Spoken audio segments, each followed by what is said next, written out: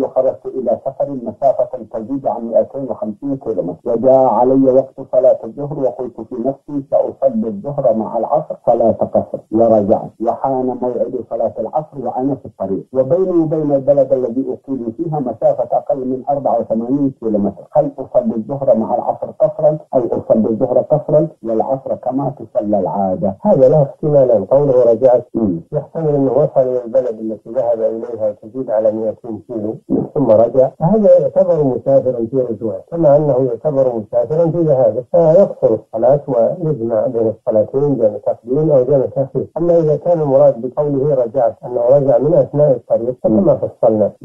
إن كان أخذ من الطريق مسافة 80 كيلو فأكثر فله حكم المسافر أيضا.